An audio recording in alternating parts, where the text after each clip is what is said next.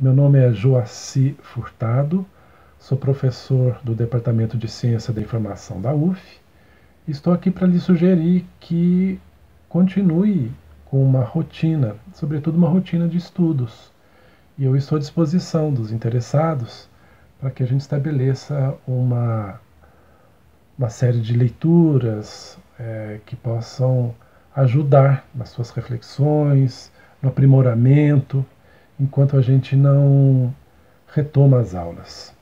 Nós ainda não sabemos quando e nem como essas aulas serão retomadas, mas já é possível a gente é, criar um roteiro de estudos, de reflexões, porque isso é fundamental para manter o nosso equilíbrio, a nossa saúde mental. Vai aqui um abraço e até breve.